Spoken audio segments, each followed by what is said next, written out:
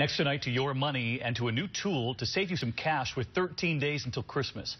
It turns out today is actually the third biggest shopping day of the season, and tonight here, a new app that alerts you when an item on your gift list drops in price. You can even get a refund. Here's ABC's Lindsey Janis.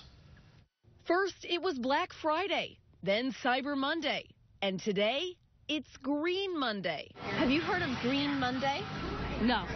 Turns out the second Monday in December is one of the biggest online shopping days of the year. Green Monday is another excuse to sell us a different sale. They're using this last stretch before Christmas to sell things they have a little bit too much of. What to buy right now? Clothing.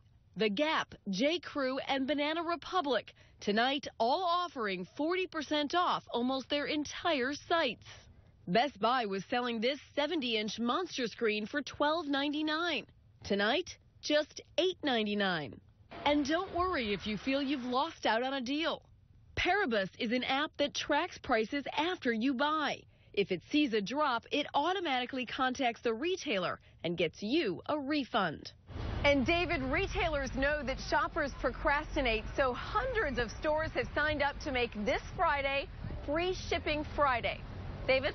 I'm one of them. Lindsey Janis with us tonight. Lindsey, thanks. When we come back, Made in America Christmas.